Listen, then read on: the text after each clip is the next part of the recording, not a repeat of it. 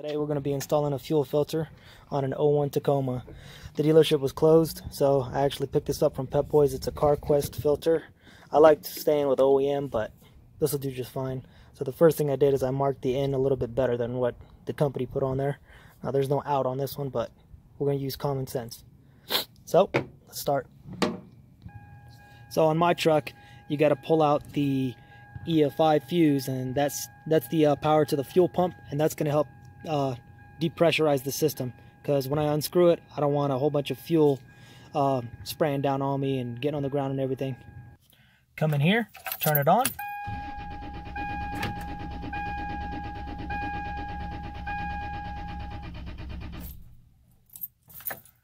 All right. Next thing, we located the fuel filter. There it is, that's the in. This is coming from up here where the fuel pump is going straight up and then out towards the engine up that way. Got a drip pan ready. Mine requires a 19 millimeter and a 14 millimeter. Just the 19 millimeter just to hold it, and that's the bracket, and the 14 to go ahead and break this uh, this line free. All right, let me get this uh, camera adjusted here.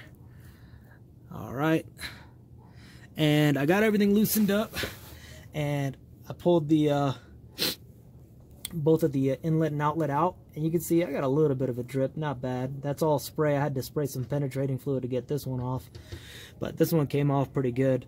So now I open this up. I go ahead and pull the old filter right out. All right. And we're gonna go ahead and show you how to install the new one. Too many fuel related issues but I kind of wanted to see what the fuel looked like coming out of this filter.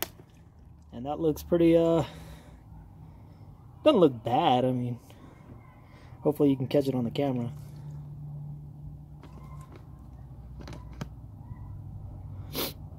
There we go. Yeah.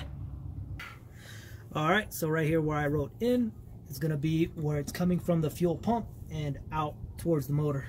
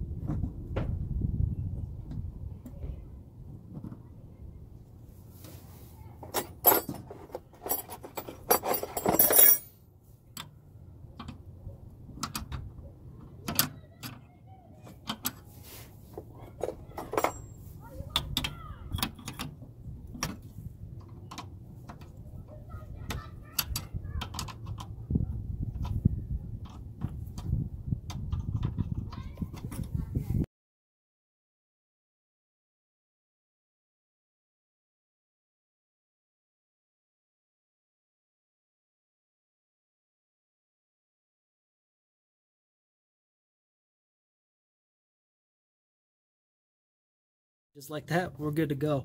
We're gonna go ahead and put the uh, the relay, the fuel pump fuse back in, start it up, make sure we got no leaks, and we should be good to go. Then we're gonna go cut that filter open see uh, see how bad about 110,000 miles did on it.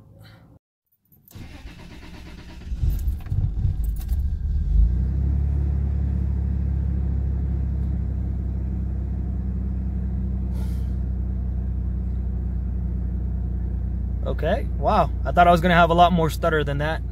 I thought I was I, I was actually gonna shut off one or two times, but uh, I guess not. Did a pretty good job. So one thing I like to do, um, I like to go and check the mileage. So I'm at 175,397. I'm gonna write in white paint marker on that new one, 175K. That way, whenever I do it, or to even think about doing it again, I can always come back and check and see how many miles are on it. So we're gonna go ahead and step outside, check for leaks.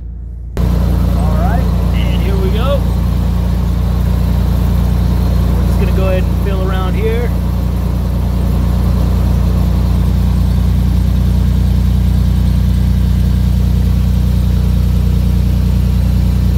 Make sure to check it real good for leaks and go ahead and tighten it if you have to. And here you see, I wrote 175K on the, uh, the new filter. So we're gonna go ahead and cut the uh, the old filter open. I just got a cutting wheel and an angle grinder, but it's actually starting to uh, rain out here. So I'm gonna pack this up, take it inside, cut it open. I'll show you what I get.